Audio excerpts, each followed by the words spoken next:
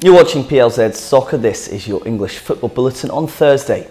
Liverpool manager Jurgen Klopp has yet again insisted he is not thinking about breaking any records after his side eased to a 3-1 win away to Brighton yesterday. A brace from Mo Salah inspired the new champions, who now need just three wins from their last four games to reach a new record points total. Here's Klopp speaking after the match. Could I assume we get all these points?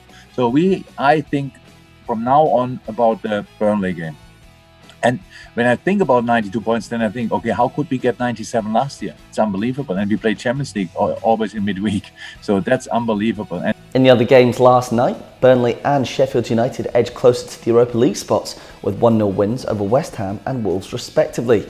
The Blades were up to 7th with Burnley in 9th. Man City impressed again, hammering Newcastle 5-0. Veteran David Silva was the star of the show to moving between the lines. I never seen someone like him, and uh, he came back for the lockdown in incredible uh, top form and incredible, you know, uh, rhythm. And uh, of course, if he decides to play, he can play everywhere, and uh, no doubts about about about this. There are three more Premier League games this evening, with Tottenham meeting Bournemouth and Everton playing Southampton at 6, before Aston Villa host Manchester United at 8.15.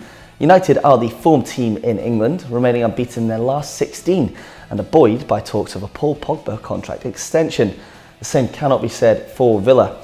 They are 18th and in desperate need of points if they are to stay in the division.